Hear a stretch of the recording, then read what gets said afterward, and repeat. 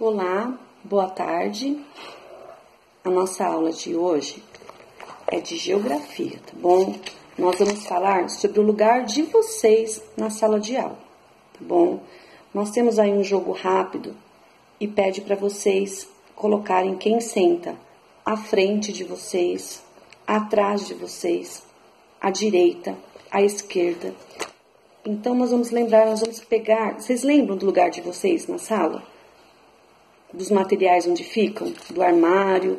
Então, olha só, ele vai fazer uma pergunta para vocês e vocês vão é, tomar como exemplo para memorizar o lugar do, do Gabriel, por exemplo. O Gabriel senta lá na frente, vocês lembram? Quem senta à frente do Gabriel? Tem alguém sentado à frente dele? Não. Quem senta atrás do Gabriel? Quem lembra? Quem senta à direita? Do Gabriel, do lado do armário. Luiz Otávio, isso. Quem senta à esquerda do Gabriel? O Antônio, isso. Então vocês vão responder essas perguntas na página 20, lembrando do lugar de vocês. Direita de vocês é o lado do armário, tá? Onde fica o armário da nossa sala.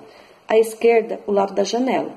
Então, a Luísa, o Davi, a Bianca, o Guilherme quem senta à direita deles? Não senta ninguém, né? É a janela e do lado deles, à esquerda deles, não tem ninguém, tá bom? Tem também a planta e a maquete da nossa sala de aula, representações de sala. Olhando aí nesses exemplos de plantas baixas, né, uma visão vista de cima da sala, qual vocês acham que se parece mais com a nossa? Essa segunda imagem só acrescentaria aí, pessoal, tem uma, duas, três, quatro fileiras. Então, a fileira da Luísa, do Antônio, do Gabriel, do Luiz Otávio, tá faltando uma fileira aí, que é a fileira do Nelson, tá bom? Então, essa daqui é que representa melhor a nossa sala de aula. Tem aqui, ó, até a mesa da, da tia tá no mesmo lugar, aqui o quadro, o armário. Então, na página 24, tem também uma disposição de carteiras, né, feito por maquete. Na página 26, que está pedindo para fazer o desenho da sua planta baixa e identificar as carteiras do nome de cada aluno.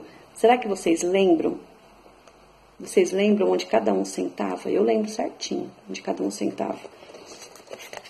Então, vocês vão responder, fazer esse desenho de acordo com o que vocês é, responderam na página 23. Vocês vão fazer o desenho de acordo com essa aqui, acrescentando só a fileira do Nelson, tá bom? Isso daí, pessoal, vocês vão responder e vocês podem mandar algum vídeo ou conversar sobre o lugar de vocês, tá bom? E a gente se vê na próxima aula.